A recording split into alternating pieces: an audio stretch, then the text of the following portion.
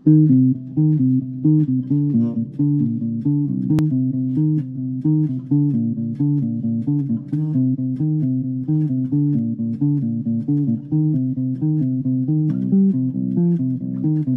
right, guys, we're live. Um, about the way, through some uh, technical difficulties, but my guest today is uh, Ernest Fargo. He's uh, a researcher from uh, Michigan. So, Ernest, what got you started on the subject of Bigfoot? Well, it's actually a sighting. Uh, I was driving home from deer hunting in 1991 in November. Uh, it was November 17th, 1991.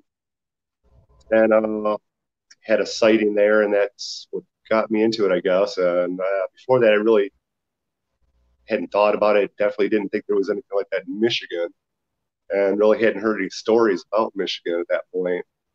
And uh, so I guess that's what got me into it. The, the curiosity from that point, wondering what I saw, and I guess I knew what I saw, but I couldn't believe what I did, what I had seen.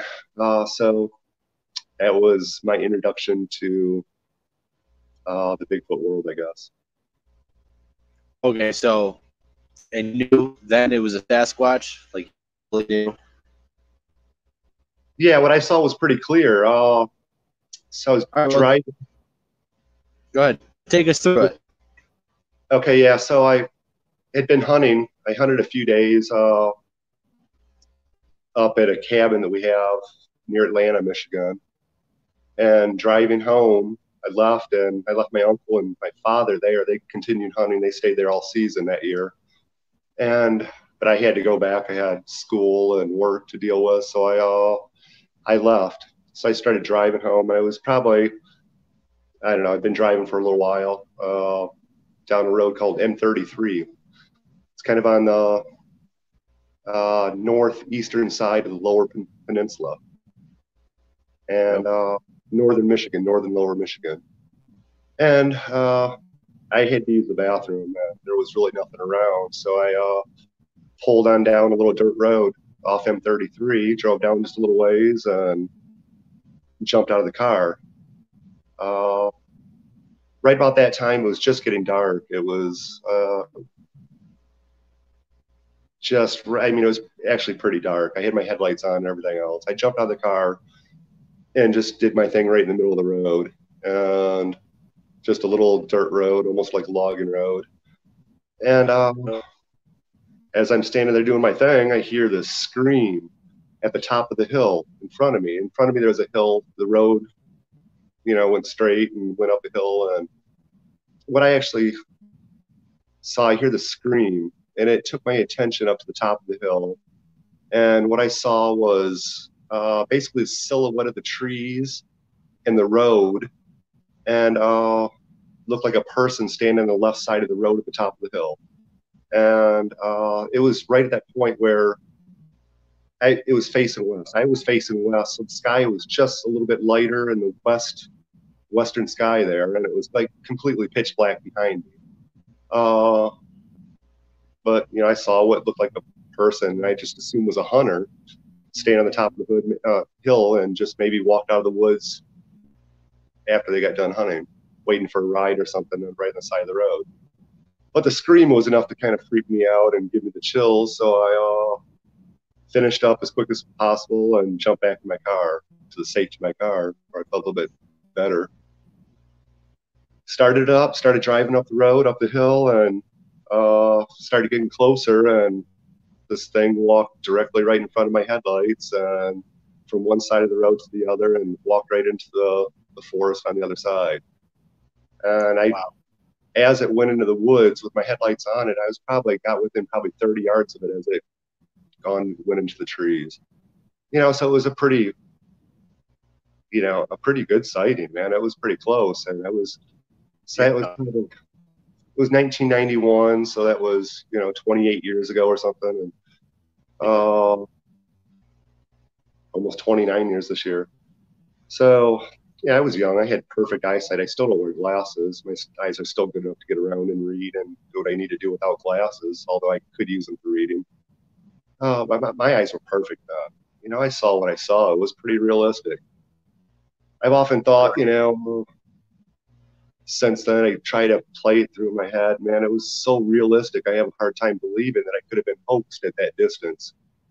You know, and it was just very realistic. It was animal like. I think I even put that in a report. I did report this to the BFRO back then. Uh, well, several years later, actually in 1991, the BFRO didn't even exist at that point. I don't think they were established till about uh, 1995 or so.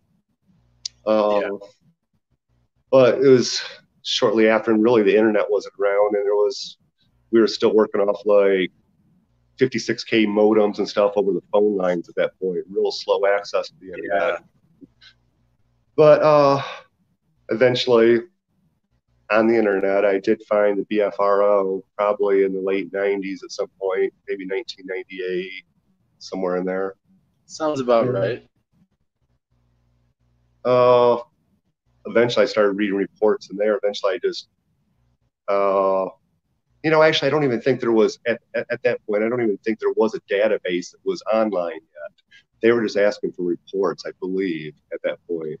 I think so, there was forums and stuff. It was just starting out. Yeah. So I, I, I actually had a place to report a sighting, so I did. I reported it on there, and then uh, later on, sometime, I was contacted by a, a BFRO researcher. And I've looked for him. I don't think he's around anymore. His name is Casey Charms or Chalms. Uh, was the name of the guy. He was a nice guy. Uh, talked to him several times, and made plans and to get, get together, but never did. Kind of lost touch with the guy at some point. Uh, haven't heard anything from him in years, and I don't know where he's at anymore. But it did get put in the BFRO database. Um, still there today. You know, I think I reported in like late 90s, maybe 2000, somewhere in there. Uh, so about 20 years ago, I think I made that report. So so um, that, was, that was my first real thing that got me into was that, that actual sighting. I was just so confused right. and curious about it. I had to learn everything I could about it. You know, and back then I bought, I found a book, uh, John Green's Apes Among Us, a great book. You know, I think one it of the is. best ones there still. Uh, I agree. But then I just started reading books, and I have quite a library now. I've read quite a few books. Oh, I love the stories. I love the. It's interesting. Plus, you know, trying to find answers for what I saw that night or that day or exactly. evening. Well, uh, w- let's go. Uh, what did it sound like? What was the um, the uh, uh, roar, uh, scream it sound like you? If you can imitate it. It was. I. It probably lasted a duration of about two to four seconds, I would guess. And I remember it starting off low, going up to a real high pitch, and then ramping back down. Uh, probably duration of two to four seconds or so. And it's bone chilling. It was a like nothing I've ever heard. It was, and you know, interesting thing to me, even looking back at it, is my attention was directed straight up to the top of the hill where I saw what looked like somebody standing there on the top of the hill, the silhouette there. I could see up against the backlit sky, or you know, like the lighter sky. So again, I could see the silhouette of the forest on both sides. I could see the silhouette of the the top of the road, the top of the hill, and what looked like a person at that point. I assumed was a hunter. But that scream, you know, was it I'm in, the, you know, in the middle of the forest on this little road, and I jumped in my car, you know, pretty much as quickly as I could. It, it, it did, you know, scare me a little bit, or at least made me a little uncomfortable for sure. Yeah, spooked you for sure. Yeah. You know, it was a distance where, you know, at that point it was probably more than 100 yards away. You know, probably. I mean, that's close yeah 100 150 yards away but this was you know pretty much at dark and the only reason i even saw this thing originally was because of the lighter sky i could see its silhouette i really couldn't make out any details at all at that point. and again i assumed it was a hunter until my headlights hit this thing and, and i tell you what it didn't walk like a person, and it wasn't a giant like uh, something you hear about eight or ten foot tall, twelve foot tall, nothing like that. It was, you know, maybe six to seven foot tall. It was quick. It was animal-like movements. Is my best way I could describe it, you know, and it was convincing enough to me that man, I just have a hard time believing that somebody could pull off a hoax at that distance to fool me. But I guess it's entirely possible. Maybe it was hoaxed. You know, after researching yeah. in that area, different, there was a rash of sightings that happened around that area, around that time, the year before, especially. You know, there's write ups in the paper about it. So I guess I'm always still open to the possibility that maybe I was hoaxed you know, and then after I saw this thing, it took a, a little a little bit to register. I'm still driving, thing I watch it go into the woods on the other side, and I guess it. I didn't know what I saw. Then I kind of got freaked out and had to turn around. I had to go past that spot. So I went down the road, turned around, and I had to get back to the main road. And when I went past that spot, um, I, I was probably doing 60 miles an hour or 65 miles an hour down this little logging road, just you know. So I was just, I guess yeah. I didn't get out comfortable. I didn't, I didn't know what to think of it. It took me by surprise. It's something I wasn't expecting to see or experience that evening. And but looking back, it's one of my biggest regrets of not actually uh, looking for footprints and be able to cast something that probably would have been castable at that point. Less, at least been able to see, and it was a dirt road, you know, and it's um, it would have made marks in this road. I, so I'm upset myself for leaving the scene and jumping back on the road and taking off at that point, you know. But well, I think uh, I think it happens so fast that you're not you're not thinking about it, and you know you're just uh, in the moment. You, you at that moment you don't know what it is. You th- you know you know it's it's Bigfoot, but it's like a world shifting moment of uh, seems real. You know, so let me tell you what, I did see something that day, uh, for sure. And I, I would yeah. gladly take a polygraph for anybody who would like to see it. I would certainly pass it. You know, I oh, and but you know, I can't prove whether it was a hoax or not a hoax. But all I'm gonna well, say, if it was a hoax, it was a really, really, really convincing one. I mean, like I said, my right. eyesight was really good back then, and still, you know, pretty good for my age. I'm older. Well, and and and the odds of that of you know waiting out there for until a car comes for hours just just just to run in front of the car when like guy a person wouldn't know if that car is gonna stop. The guy's gonna come out and shoot him. You know, because people, some people want to shoot a Bigfoot, so it's kind of and. I think there's been a few people injured over the years. I'm trying to hoax people. People shoot at them or whatever.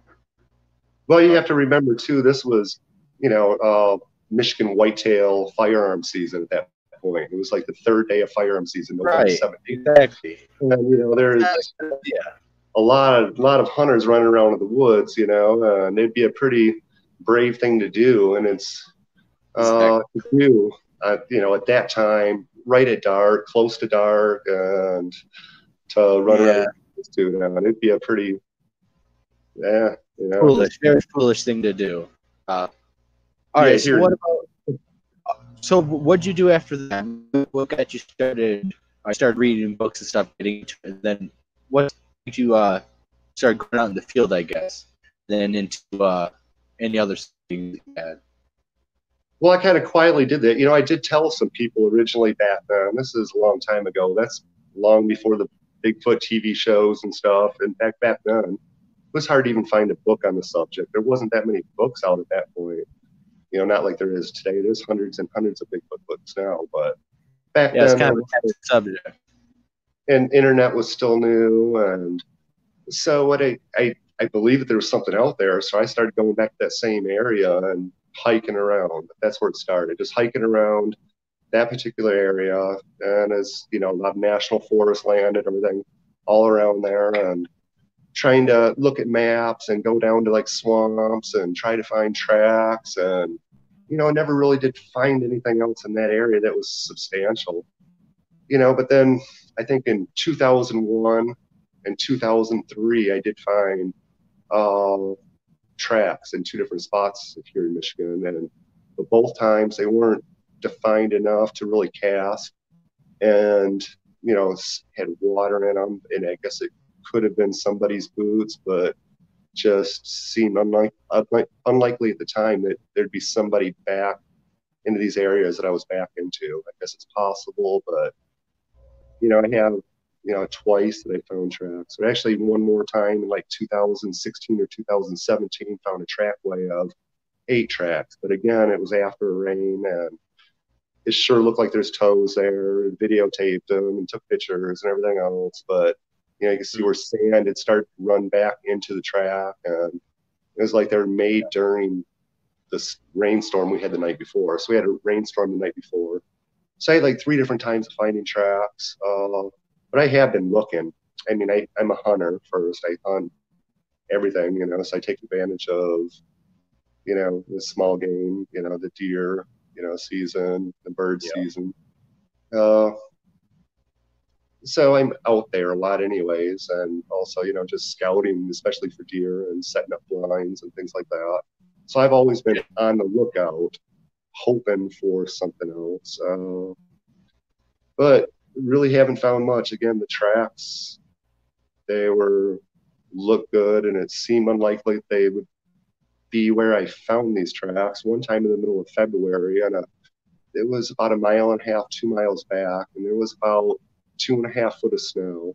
I got into Cedar Swamp, and I'd actually gone back there to do wildlife photography because there was so much new snow and it had a lot of pines and it's just a you know beautiful setting. So I was taking pictures and it was really tough. I used snow shoes to get back there down in the swamp and there was a lot less snow in the swamp.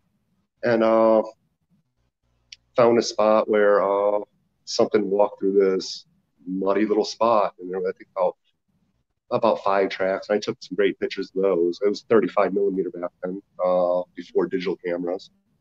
But yeah, uh, right again, not definitive enough and old, and they were filled with water. But it seemed like, uh, you know, really strange or unlikely there'd be anybody that far back. And it is that was private property. So to get back, I mean, you have to. It was gated private property, so it's no way to really get on it unless you know somebody, you know, there. So right uh, there was nobody out there, nobody that was allowed to be there. So if there was anybody that had been there to make those tracks, they would have they would have been trespassing.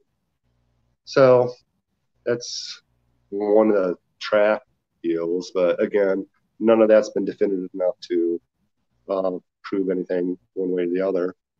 But I have had some other experiences over the years. Uh, I was hunting with a, a friend of mine that I we were hunting around Atlanta, Michigan and we'd split up. We went to two different spots. Uh, I was we are about two miles away from each other. We both had our own trucks there, so we planned on hunting until dark and then meeting up after dark and going to town and getting a bite to eat. Mm. Uh, so I go to meet up with him after dark on the side of the road. I see his truck, pull up behind it, and he jumps into my truck real quick and tells me the story. And his story was he was hunting up in a tree stand and and I I know the area so I can explain it. There's a bunch of ravines that kind of run parallel next to each other, parallel to each other, and um, he was on a tree stand at the top of one of these ridges that and had you know parallel ridges behind him and in front of him. So his story is he was sitting there and just before dark had turned around behind him looked at the ridge, scanning the ridge behind him, and saw something black duck down behind the ridge. And he watched there for a while, nothing. And a few minutes later, looked around the other way and his other shoulder and saw the same thing again. Something ducked down behind the ridge. And I guess it happened a few times before dark, and it's kind of freaking him out because there are black bears there. And right. I, his thought was probably that a black bear is stalking him for some reason or something. But uh, so he waits till dark and gets down after dark, and he watched this thing or whatever, saw this thing a few times before dark. Gets down, he's kind of nervous at that point and wanting to get out of there uh, as quick as possible. He's got a self-climbing tree stand at that point. So he gets out of the tree. He's got about eighth of a mile walk maybe to get back to this little four-wheeler trail, and then probably another quarter or three eighths of a mile to get back to the road down this four-wheeler trail. Well, he says that something black followed him down this little four-wheeler trail just off the trail and getting behind trees and followed him all the way back to the road. And he's telling me the story, and it's and it's pretty convincing. He's shaking, you know, he's shaking. There's tears running down his face. I mean, he was seriously shook up. He seemed pretty believable at the time, and he's somebody I'd known for years, and I don't believe him to make up something like this. And he's just completely believable. So uh, I'm like, okay, let's let's go into town, grab a beer and some food, and we'll uh, you know settle down a little bit. So we decided to park my truck and drive his truck into town. Well, his truck was basically parked right on the road, right where this trail ends, right where he said this thing had stalked him up back up to the road. He said it stalked him all the way back to the road. That was his word, stalked. He said it several times. And uh, so we this kind of gives his story maybe a little bit of credibility. Uh, we parked my truck on the side of the road, kind of right there, and walked over to his truck, jumped in there. As we get close to his truck, I heard this just right where this trail ends, just into the woods, maybe 20 feet or so, and it's completely dark at this point. I heard what sounded like a child, a young child, a young girl, maybe six, eight, ten years old or something, giggling just into the woods. You know, so it's the weirdest, strangest thing, creepy, whatever you want to say. I I don't know what it was. I've never heard a bird do that before. I've never heard anything like it in the woods. It sounded like my daughter at that point in life. She was about that age. It sounded like my daughter was there in the woods, but she was, you know, three hours away. Uh, it sounded, sounded like a young, a young girl giggling in the woods. And we jumped in his truck, and I have to say, you know, whatever he saw, I don't know what it was. He never got a good enough a look at it, called it a Bigfoot or anything else, just called it black, and it kept getting behind trees and hiding behind trees and stalking all the way back up the road. But I heard what I heard. I didn't see anything. I can only tell his story at this point and tell you what I heard. What I heard was strange. It was right at that trail's end, right where yeah. something would have been if it would have followed him back to the road. Hanging out there. Yeah. Interesting story. That was in, you know, Michigan here, another Michigan one. I do have a couple other instances uh, with other people. That happened one time, actually, twice in the same location, uh, a year apart. So, and this was an old abandoned sand pit. So it was all sandy, and it had been abandoned probably 25 years at that point. Uh, but they mined all most of the sand out of there and dug two big lakes. So what it was, it was just kind of a place that we could sneak back into. Was private property owned by a the people that originally mined it, a corporation. Uh, is fenced in, but there was breaks in the fence, and people go back there and party and hang out and fish or whatever. Yeah. at that point there was an old office trailer that they had there that was shot up and all the windows were busted out of it and been there for 25 years abandoned and stuff. But at some point we swept it all out and i'd use it kind of like to camp you know at least it, you know if it rained you'd keep the you know the rain right, off you. it was a good shelter yeah. And it was right next to the lake and you know beautiful sand lake just gorgeous you know great fishing. Uh, there's two lakes right there. They weren't connected uh, but there was six of us there. We had a campfire, and this is probably I think it was just about midnight or so. Uh, we had fished, all, you know, in the evening and stuff, and cooked out and did whatever, and drinking a little and around this bonfire, and all of a sudden a rock comes flying like in between us and bounced right over the fire, and everybody just kind of looked at each other and didn't know what to think, you know. And uh, just a minute later, or seconds later, maybe I don't know, 30 seconds or a minute later, it happened again. This time, the rock bounced before the fire and then hit the fire and kind of scattered the fire a little bit. And Wow. one of my friends there uh, started yelling in the darkness, uh, some obscenities, you know. Oh, I, I don't recall exactly what he yelled. He yelled something.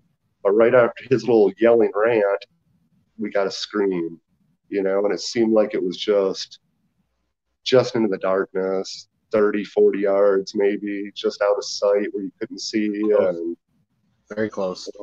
A screech scream thing. And again, I, I don't know. I can't prove anything. We didn't see anything, but we all all of us jumped in this trailer and got back to the back corner of that thing and kind of huddled there and talked, trying to figure out what was that, what was it, you know, and a kind of a freaky story, freaky situation. Nothing ever happened. We sat there and listened and didn't hear anything more, and it was quiet the rest of the night.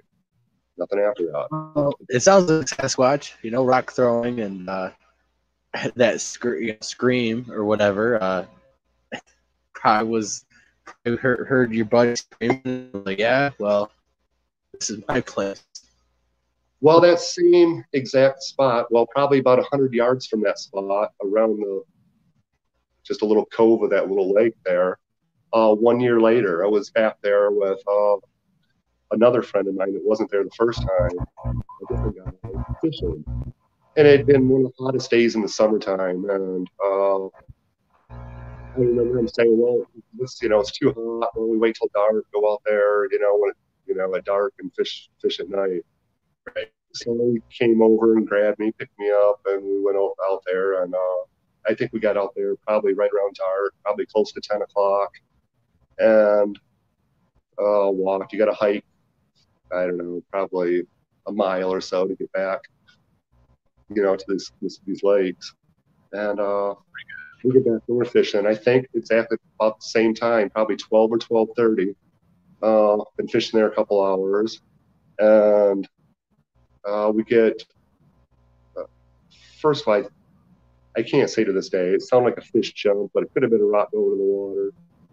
And then just a few seconds after that, heard uh, that same scream, screech, scream again. So this is two times, two years apart. I actually got with that guy. He's actually my Facebook friend of mine right now. And we just got back in touch. And recently, he found me on Facebook, and uh, we talked to each other, exchanged phone numbers. I called him and uh, asked him, "Do you remember that? You know, not. Uh, do you remember us fishing and hearing something down there?" And he he remembered exactly and described it perfectly. I mean, remembered everything I remembered about that same night. That was, you know, you know, years and years ago. But uh, Right. it's kind of cool to have a little somebody else out there that uh, heard that. And of course, the six people that, or five other people that were with me the first time heard it. Uh, but unfortunately, I think like two of the five people are no longer here. They passed away now. But there's there's some something screaming, you know.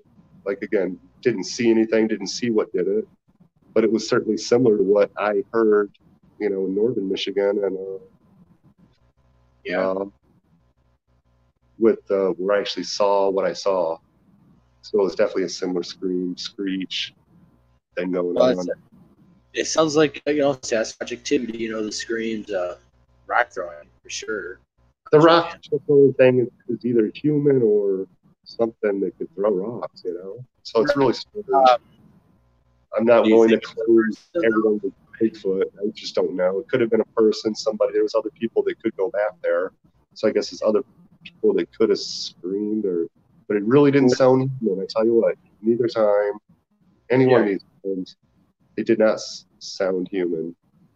Right. Do So you think a the- human human trying to fake it, fake you know, go to scream? Do you think that would really make you scared to retreat into the shelter? You know, because these things when they make scream, you know, they're on a different wavelength, and you know, you feel it.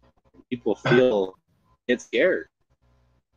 I don't think Well, what's we can. interesting, what's interesting about that same area also, uh, those same two lakes there, um, uh, there was several years ago, and not even several years ago, probably uh, kind of I've got cameras set up in that area and some private properties around that area.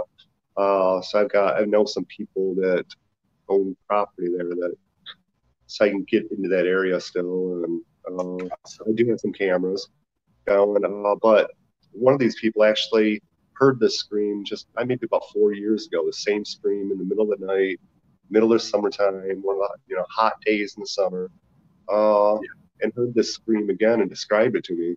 Well, now I'm I'm, I'm looking for Bigfoot now, but uh, but yeah. it was interesting. This woman didn't really know anything about Bigfoot and didn't think anything of it. She thought that somebody might be getting murdered or raped out there, and thought somebody was getting killed out there. And she actually called the local police department and had the police come out. And they showed up, and I guess she told them the area where the scream was coming from, and but they didn't investigate it any further. They didn't go back there, so they took a report, but they didn't hear any screams, and they didn't go back into the area that she told them that the screams were coming from.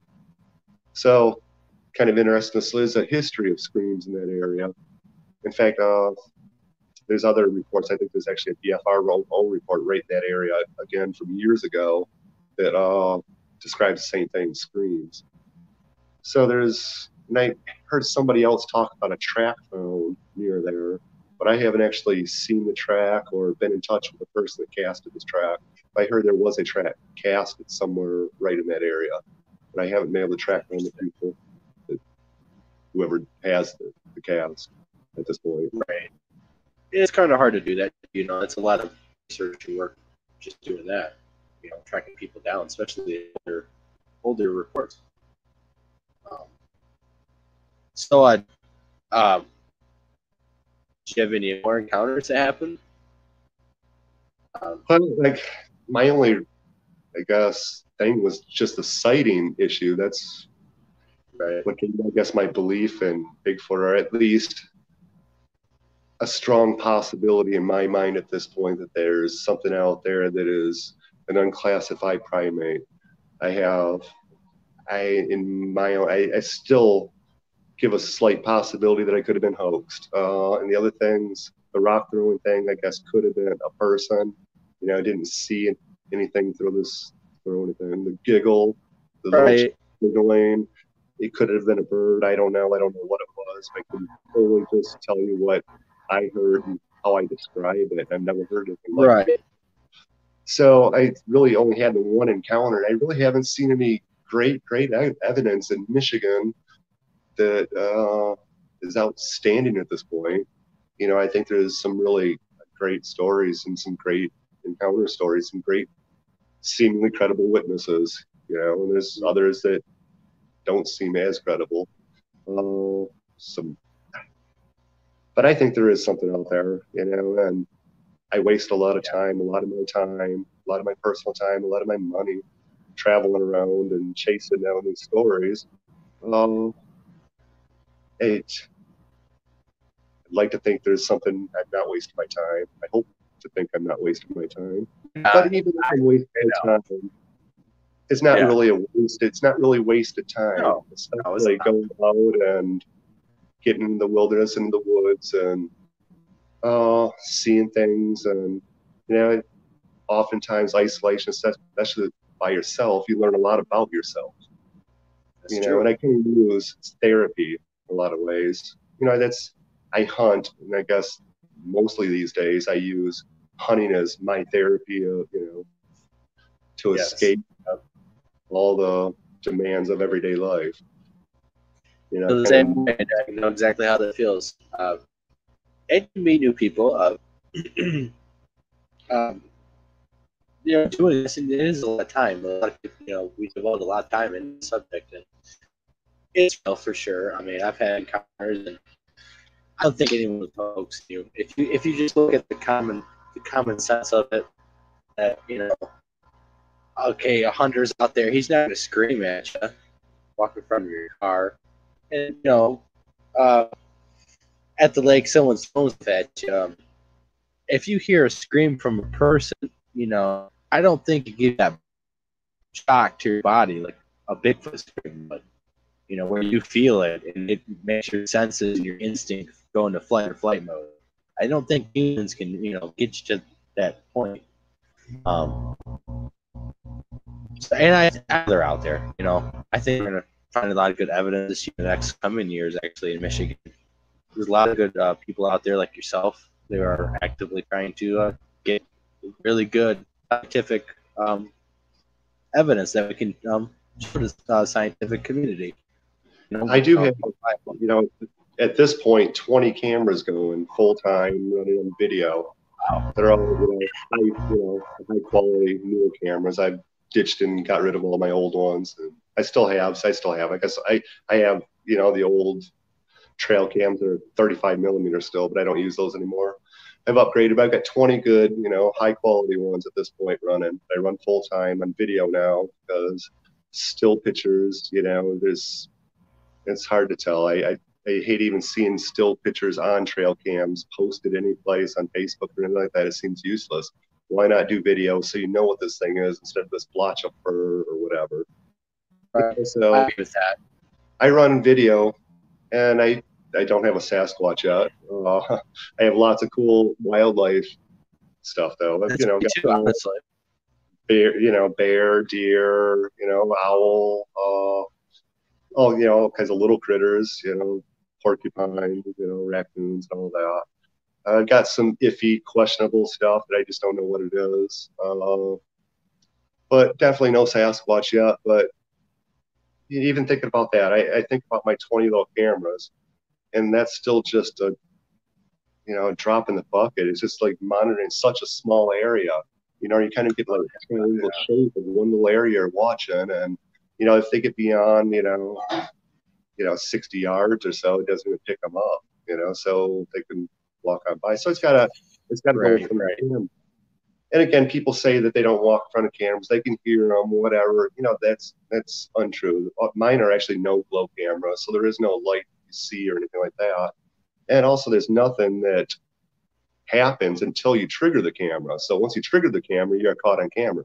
So there's no way that there can sense anything that's happening because you know, I mean, they're highly efficient cameras. You know, there's no nothing going on with these things I until guess, you trigger them. I, I guess my only thing is um from my experience, I'm sure you experienced too, is uh, deer, normal animals, they, they can spot the camera by looking at it, and they know whether it's the shape or whatever it belong there. I'm sure you have uh, pictures video of the animals looking at the camera, right? Oh yeah, certainly. You know, they they, they see the cameras. I, I hide them. Yeah. I, have tried all different methods, and even baiting with stuff, and you know, salmon and bacon, and you know. I'm sure that and that I'm sure that worked on all the animals besides Sasquatch. Unfortunately, I, right? Yeah, you know, and I know that a bear can actually smell the camera plastic in the camera. Oh, so oh yeah, the animals do. Yeah, it could smell and stay away from something like that. But you know, what's interesting also, I also hunt, so this is it, it keeps track of the wilderness and what's going on, and it, it yeah. You know, oftentimes gives me, you know, good indication of what might be good hunting areas also. And it's great, the wildlife, you know, just getting different video of different wildlife and just knowing what's going on in the woods, what wildlife is out there um, in that area, in those areas. And yep. of course, I move cameras around and stuff. Uh, but, they learn, you learn a lot of the observations that they provide. I have got some weird stuff on the cameras. I'm not a woo guy at all, you know, and I'm not a paranormal guy at all. Or well, uh, let's go into some of that. Uh, on the cameras.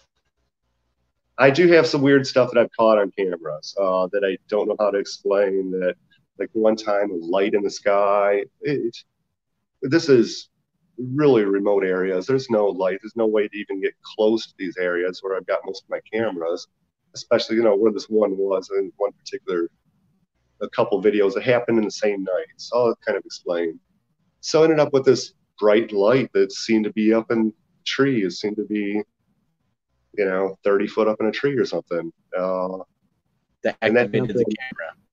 It activated the camera somehow, and uh, which was strange. You know, there was nothing else yeah. there other than this light that activated the camera for some reason. There's nothing around for there definitely not to be up in the tree. I'm not saying it's orb or what it was. I don't know what it was. So it triggers it. And it was the middle of wintertime. And uh, of course, it's got the time stamp on there and it's got even temperature. You know, I can't remember. It was like, uh, I mean, or something, maybe even negative digits at that point. It was really cold, really cold night in the middle of the winter. And so I think that that happened. This light show, showed up. I think it had um, 10 or 15 second video clips or video at that point. So I got like 10 seconds of this light up in the tree, which was odd, strange. There's no airports around there. There's nothing around. And plus, I don't. And the airplane, I've never had trigger a camera ever. I was saying, there's no way. So that seems odd, and I mean, there's really no trails even to get to where this camera was. You know, it's going my GPS and. Plus, do you think um, person was climbing a tree and flashing a light, you would you would have the person being climb, filmed climbing the tree before it's already up top? Yeah. Well, so I, I, again, this isn't Bigfoot related, I don't think. Right. But what's even stranger than that is that same night at like I can't remember exactly, 4:30 or 5, a couple hours later, you know, 4:30 or 5 in the morning, still dark. Uh, it gets triggered again, and it's triggered by something like high rate of speed. It's uh, coming straight towards the camera. It looks small, like I don't know, four or six inches long or something, like a, a rod or something. Like I've, I've seen pictures of rod, or yeah, maybe rods. it's just a camera blurring something, but whatever it was moved really fast. And it's on video too. So I get the whole video thing. It comes straight for the camera, makes a 90 degree turn, and then another 90 degree turn away from the camera and zooms off up in the trees. And it was the strangest thing, I guess. Is it possible that something small, a small particle or something, the wind took it like this and moved it like that? Or something? But well, again, it was. Trail cameras meant to to pick animals, not not bugs, really. You know. Uh, well, it wasn't a bug for sure because it's the middle of winter time, so it was really cold. Right. Exactly. Right. Yeah. That. Yeah. There was, snow on the ground, and I think that, it, like I said, the camera shows the temperature. Also, I think it was close right. to zero, below zero, or something. I, I, don't recall right now. It's halfway. It's been a couple years. But that's one of the things I did catch on camera. Like I said, I don't know how to explain this. I'm not saying it's. I don't know what it is, but and that's just some, there's several other weird things. Good to look the, you know, the logbook of uh, things that, you know, maybe you'll catch something else one day and you can refer back to it and say, hey, it's very similar. Yeah, it's interesting interesting stuff. You know, I don't know. I'm not a big UFO guy or anything like that. I, I'm, I hold the belief that uh, if there is a real Bigfoot out there, it's likely a flesh and blood animal, uh, some sort of primate, something probably between human and an ape. Uh, I don't know, probably closer to ape because of lack of tool use, lack of use of fire, uh, things like that. It doesn't seem to have any artistic ability like even Neanderthal had. They don't create anything they leave behind. So I would imagine to be something closer to an ape, but an intelligent ape. I mean, even, I mean, animals are very intelligent, especially in the wild. Even a deer. Uh, as a hunter, I can speak, you know, as, you know, to the intelligence of even, even a deer. You know, you see deer all the time, but mostly what you're seeing is young ones. And now, when you're hunting like big bucks and stuff, to get a three or a four or five year old deer is a really, really challenging, tough thing to do to even get them out in the open to be able to see one that's you know four or five years old is really tough. By the time they get three years old, they you know are very in tune with the wilderness and nature, and uh, they're able to stay well away from you, and a lot of times become completely nocturnal. So if you think about a Sasquatch, you know, the typical primates out there, I think I would imagine a Sasquatch to live between 35 and 55 years old based on the lifespan of other primates. You know, uh, that would be my guess. Uh, if that's true, and if they learn as quick as a deer does, you know, after the first few years, to be pretty in tune with nature and be able to still stay well away from humans. So I guess it's entirely possible they just are that smart, and, if it's living 35 to 55 years, it'd be extremely intelligent and and very in tune with its you know environment. So it's not if they do exist, it's not surprising to me that they would be able to stay away from us, you know, and probably very easily stay away from us. So I do believe it's, I think in my mind, I believe there's a 90% chance there's something out there, maybe 95%. And uh, I think that it's possible to get evidence. If there is something, there should be eventually some evidence that does come up. So it looks like we lost Blake.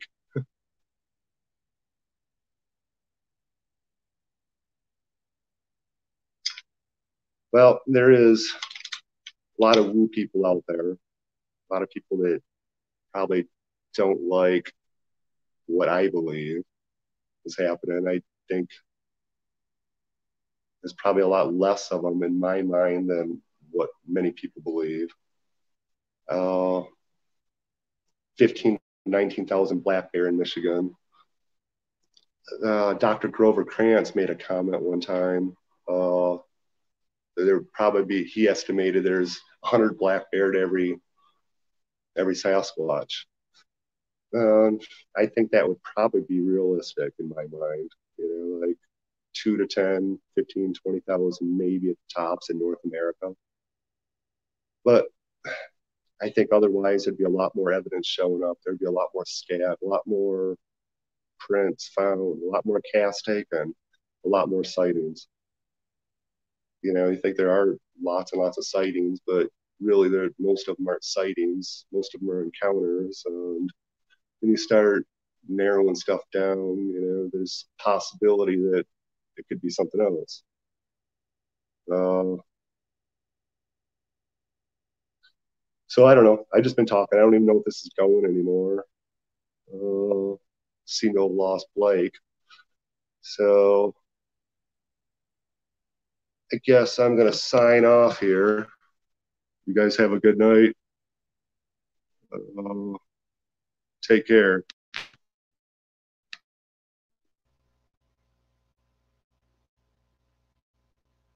All right. Uh, I have some technical difficulties, as you can see. Um, guess Ernest is not back yet.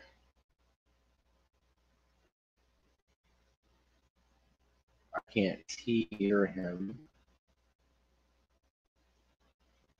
Hmm.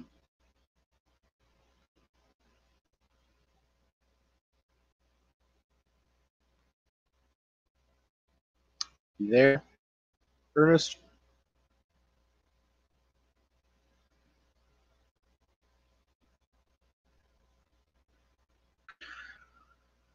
Well, hmm. we were having some technical difficulties when we first were setting up. That's why we are so late. Unfortunately, uh, it seems StreamYard is acting up again right now. So uh, he doesn't come back on here in about a few minutes. I'll shut it down and stuff. Uh, you can always have him back on again. Um, it's always it's, it's always a pain in uh, Streamyard where technical issues rise, but you know this app is um, being used a lot by a lot of people, and it's constantly being worked on. Um, they're upgrading it. You know, they just added uh, green screens to it, right? So uh, they're constantly upgrading it. Um, right now, you can only host a phone app, host through your phone you know, that just expands the platform. And I think that they um, are constantly just upgrading and working on it. So thank you for everyone for bearing with me. Um, Ernest is a great guy. He's, he's, he's done a lot of research, read a lot of books, actually has a very extensive library on um, the subject. So very knowledgeable guy. Um, so um, unfortunately, things happen. We work with it. We're gonna try to get him back on.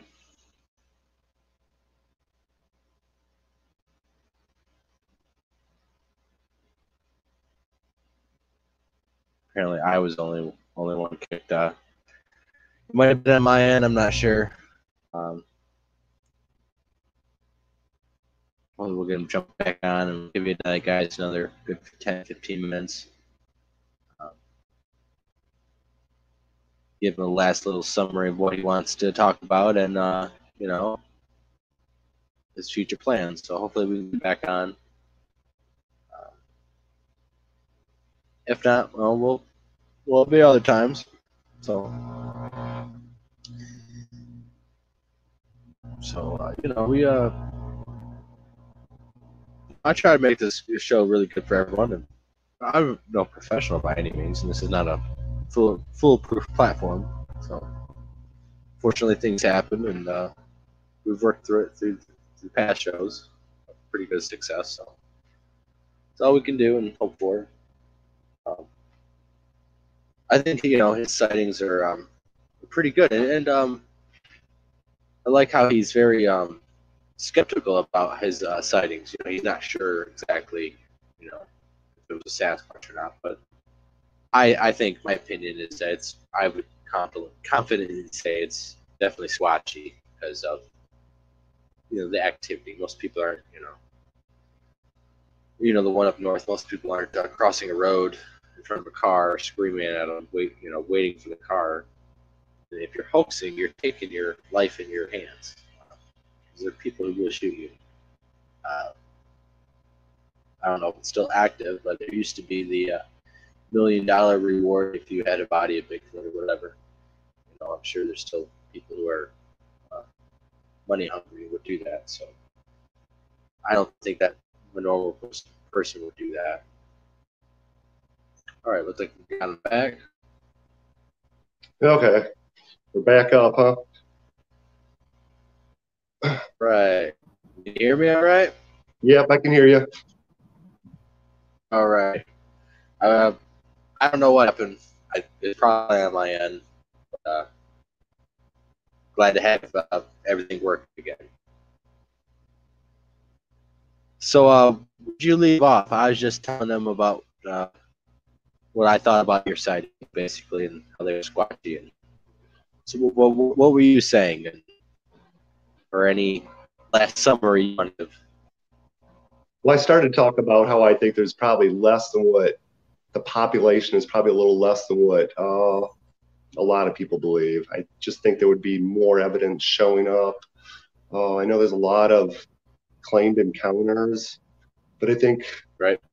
Yeah, you know, when people hear something, I don't really see that as that's not a sighting. It's not. It could be something else. I just, I think there's probably a lot less. Uh, I think I spoke with Doc, Dr. Grover Krantz mentioned one time uh, about the population thinking there was probably one Sasquatch every bear out there. And I think that's probably right. about right. You know, one one animal can make a lot of tracks especially in the snow if they True. Uh, I, I I'm going to disagree with you on this one. I think there's a lot more a lot more out there than what people think. I'm on the. There's a lot of encounters claimed encounters, but I think that certainly some of that's misidentification.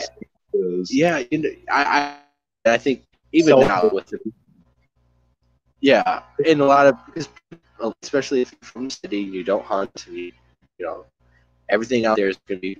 You know? um, I mean, just me myself, I have 20 cameras going. I spend right, you know, a lot of time hunting. You know, also fishing. I fish, and I, I'm a big backpacker, so I I travel around. And when I I kind of combine these hobbies with the Squatch thing, I try to go into areas and backpack and to really remote areas and take you know natural wildlife photos and things like that and maybe fish a little and uh man i'm always looking for a sign of anything like that and i, I think that being obsessive about this subject for nearly 30 years now uh, i think would have found myself more evidence the conclusive evidence i just think that right. what a lot of people interpret as being evidence a lot of times is misinterpretation because of lack of experience in in the in the, in the woods. You know, there's not a lot of real experience out there. There's a lot of people. I, I live in the completely agree with that. Yeah, Uh, completely agree with that. Again, there's some really good, credible, seemingly credible sighting, real good sighting, and real good, you know, real Yeah. good accounts. But again, we're still, I think, lacking much physical evidence that's really good evidence. Yeah, um, exactly. You know, there's the physical evidence, video evidence, everything for the last um, 50 years since Patty has really stayed the same. Kind of uh, been stagnant across the board. Uh, everyone watching really track, there's a really good video or picture, but uh, nothing, nothing like Patty, really. And um, Even Patty, you know, even Patty, honestly, it can't be proven one way or the other. It can't be proven fake and it can't be proven real. So we're left Right. in limbo. Uh, it's not definitive evidence. I- I think it's a little bit towards the. It's more likely it's real because of it's never been proven hoax. It's never been ever a Photoshop. It's I, I think we've we've gone through generations of technology and it still stands. the time. I think that that's a big, big point in the direction of one side, in my opinion. I, I think there's some really good arguments on both sides of the Patty film. You know, the skeptics and the believers. I believe that there's both sides. have some And I- I definitely see it, yep. Arguments. So, and I, I just don't think there's enough, and either side has enough evidence or a good enough argument to convince me either way. So I am still on the fence with that, I guess. You know, and it hasn't been disproven, so I I guess I would like to think it is real, but I'm not wasting my time out there. Um, There's nothing wrong with that. Different but again, opinion is I don't, I don't see this wasted time, so right. Um, real quick, is I, I was going to say about the population uh, here in Michigan. My opinion is there's a lot more uh, because uh, I've had more encounters with of Sasquatch things. What I thought were Sasquatch than a black bear. I've never come across a black bear. Never come or anything like that. And I've had some pretty good close call experiences with. I was a Sasquatch. Uh, pretty sure there's nothing else out there that was doing things that it did to me. Um, so and being in different areas of the state, having things happen, I think there's more out there than the black bear population in Michigan, in my opinion. well, again, You know, it's just my opinion. I don't know. No one knows really. I mean, you're right. Nobody really knows, and again, they could be extremely intelligent creatures, and if they are, obviously they must be they able are. above the, you know, us mankind with any kind of conclusive proof. They- of this they are. um, yeah, If it's, they uh, I I think they're actually smart. Um, what's your future plans for 2020? What's things you want to talk about? Of what's your goals? What's your, Well, I'd like to this summer certainly be busy. Uh, probably going to go west again. Uh, definitely spend uh, time here in Michigan for sure. Like a, a lot going on here in Michigan this summer. So uh, with you and other people and a lot of other things. So this, I'm just hoping, you know, and, and evidence. I don't even care who it is at this point. I just want somebody to come up with some some sort of conclusive evidence somewhere. I don't care where it's at. Just uh, vindicate me, please, somebody. I, I hope it's me, but uh, I, I think it's going to be. I hope it's us in Michigan. You know, a, a lot of Michigan researchers are collaborating this summer to, to get get some evidence, get some good stuff. You know, Uh, yeah, we all we've all had our own. We're all very determined fight underneath us that you know we want to go after it hardcore. Yeah. You know what? I think if there is something out there, and we're finally getting to the point where technology may make the difference. You know, we have Uh, you know infrared now, and uh, uh, night vision. You know, we're using all that here. You know, so thermal night vision. The trail cams are Okay. so much better and clear and everything else, and the video, and so hopefully something comes about. You know, I really, I really hope it does, and hopefully we can do it here in Michigan. Like to see it happen. so. I would like to see it happen here in Michigan. Uh, it's a great state. We have them here. We got some just big gnarly swamps here. Uh, uh, lower Michigan, it's full of habitat. You know, most people don't think that Sasquatch are here because of it's a lot of farmland, but uh, a lot of country land. But most people live on the edge of roads, so you have a big square of houses are on the roads. The whole interior is nothing but uh, woods and swamp. So I think it's a good habitat for them too. As long as they get past houses, they can thrive. Yeah, there's a lot of wildlife here. I mean, this habitat would certainly support something like that. Uh, It's just, we'll see if somebody can come up with evidence to prove it. You know, there's a lot of great Sorry. stories. There's a lot of great stuff going on here. A lot of seemingly credible witnesses. You know, there's something happening. I hope it's not all psychological. I, there is something real out there. I just I don't know. I, I you know I got some stuff where something was thrown at me and James, and you know I, squirrel's not doing that. You know? Psychologically, we're not imagining that. Camera can't imagine that. I think that they're just so intelligent that they just they choose to do what they want to do, and it's just hard. It's, it's it happens so fast. You're not prepared. Camera's not on. It's facing the right direction. It literally takes five seconds. And it's over. But uh, hopefully, with uh, a lot of with with like we're doing, you know, a lot of technology and everyone having a camera and stuff. Hopefully, we can get uh, picture or shot or some good audio or some evidence. Yes. And uh, we are uh i mean just our friends. I mean we have access to or have it all really. I mean all the latest technology out there. We're employing it in the field uh, if there is something there hopefully we can find even that even FLIR though that's still not going to be conclusive proof. That might convince yourself that something's I there. think um, I think certain things, if you get things in video, will can help. If you have that uh, rips down a tree, uh, you that's going to be pretty viable. Um, you have a subject, uh, maybe running through the woods, you could, you know, technology now you be able to clock it and see how fast it's going. It's a lot, it's a lot easier to determine these things if you like. Remember the video running you know, that's back in the 90s, late 90s. Uh, if you do it in 4K, the amount of uh, information you have is is over, you know, twice as much as like uh, 80p. So that more information is packed into those pixels, and and uh, I think days of um, being behind trees and all that's going to go away because the information could be um, um, you can zoom in and just you can pick it out everything a lot more. So I don't think they're going to be, able to hide from all these new cameras.